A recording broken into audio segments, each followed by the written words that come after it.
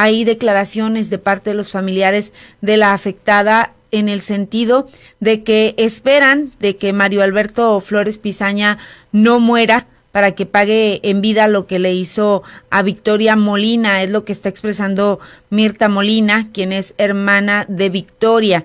Le comento que el estado de salud de Victoria es grave. Ella fue trasladada del Hospital Amparo Pape a la Clínica 7 del Seguro Social durante la noche del martes. Y es que el día de hoy le damos a conocer cómo Mario Alberto Flores Pizaña atentó contra su propia vida.